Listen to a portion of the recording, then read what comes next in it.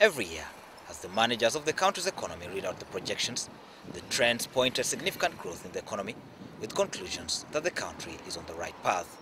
Looking back at the economic performance in the post-independence government that subscribed to the socialist ideology, experts argue that there has been a significant progress in the era of capitalism, even as the citizenry continues to condemn the adoption of the structural adjustment policies of the International Monetary Fund and the World Bank that ushered in the free market economy. While the growth has been very significant in terms of GDP growth of around 6%, at one time even going to 9%, and Uganda being almost the third highest growing economy uh, in the world, currently is 24 uh, uh, billion dollars total GDP, and also the rate of growth being very, very high and competing actually at, at, at global level. The, the major contradiction remains the share of the benefit of this growth. Experts argue that the private sector-led growth adopted by the government needs to ride on the principle of limited government interventions, especially in creating policies to guide the market forces instead of a total liberalization. So there is need not to overtrust the private sector, get it from me. If you don't want, then you are going to see results and you are not going to, to, to, to you are going to regret.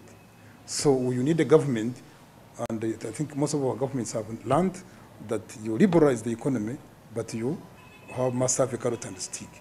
If you, you liberalize, then you have to have very good fiscal policy.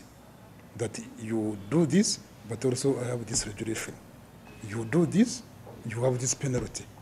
You do not say you totally liberalize the economy without having a stick that you're going to use in the case of over uh, liberalizing and also overstepping the red line, which can now plunge the whole economy into chaos. The free market economy appears to have ushered in hard times, with prices of commodities and services going up, compared to the days when the state solely provided critical services like electricity and banking services. The question of why the growth does not trickle down to the citizens still puzzles the mind, although experts blame it on poor attitude of the citizens. People need to take advantage of these economic opportunities, you see. And two, the economic policies being appropriate to be able to, to, to trickle down the benefits of growth. These are the two major dimensions.